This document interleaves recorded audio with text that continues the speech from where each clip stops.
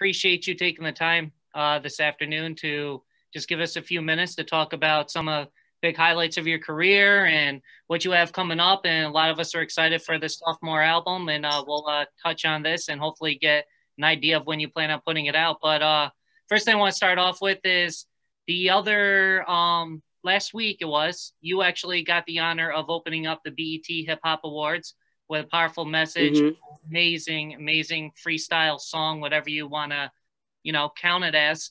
How did it feel yeah. when they came to you and asked you to do something like that?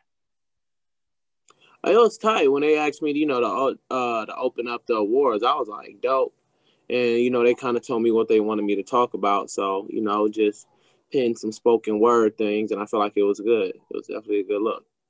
It was definitely awesome to see you get the honor of that, and then to give somebody like you, you know, up and coming, soon to be a great, the honor of doing that. Especially like uh, yeah. nowadays, it's it's definitely really cool to do, and it made me think back on like the whole like uh, freshman class of last year, and how many mm-hmm. stars have really come from that? Like, is there anybody in particular that you really still kind of keep in touch with from that class?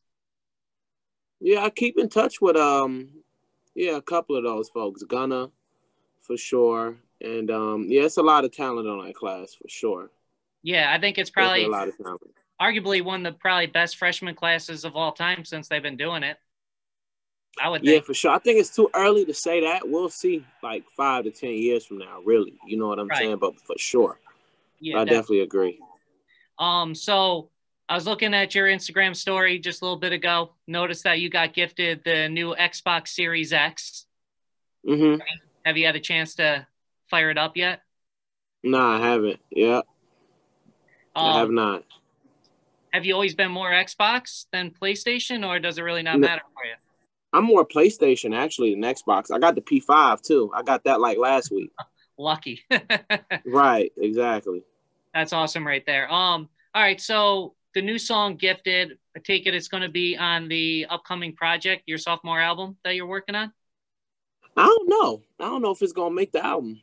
I don't know yet. I just know it's a um, you know, for the time being, it's definitely like a great song. You know what I'm saying? But I just got to see how it fits in with the whole album as a whole. You know what I'm saying with the body of work. But I'm not sure. Okay. Um, with that song, you and Roddy Ricch, amazing. I love how you guys go back and forth on it. Was that something you went into into the session thinking you were going to do, go back and forth with them, or did that just kind of happen? it just kind of happened. Yeah, that wasn't the vibe. You know what I'm saying? I was kind of going through records that like I had open verse, and then I was just like, let's just make some uh, something from scratch. So we did that. Does that kind of remind me of like you know mid 2000s, early 2000s when you hear a lot of rappers kind of going back and forth? It's not something you really hear so much nowadays, and it sounded really really good. So uh, definitely yeah. say that. You know. Nah, for sure, definitely. Now, the you are definitely working on the sophomore album, correct? Yes, sir. Absolutely. Yeah. You have any idea of when that's going to be coming out? Sure. I hope next year sometime. Okay. Now, in the recording process for this one, what would you say is uh, different this time around than when you uh, did the Lost Boy?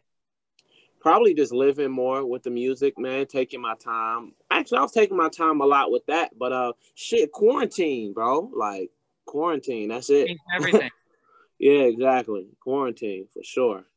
Would you kind of say that quarantine maybe was a gift when it comes to making music for you? Like it gave you more chance to really focus and uh, zone in on it? Yeah, I guess you can definitely say that for sure. You can definitely say that.